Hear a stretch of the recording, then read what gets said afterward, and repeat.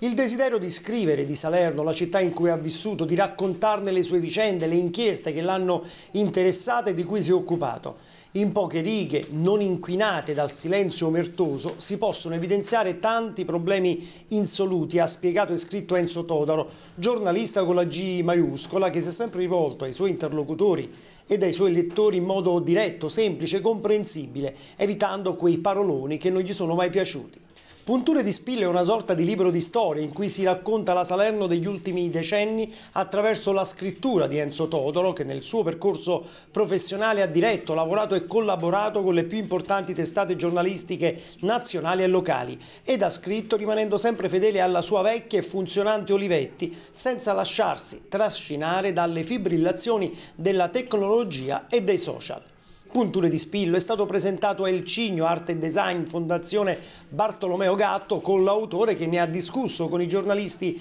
Gabriele Boiano, Erminia Pellecchia e Paolo Romano. Con attenzione e curiosità i presenti hanno seguito la presentazione del volume che ha permesso ad Enzo Todoro di raccontare anche alcuni aneddoti legati alla sua attività da giornalista ed ai 30 anni di inchieste nella sua città.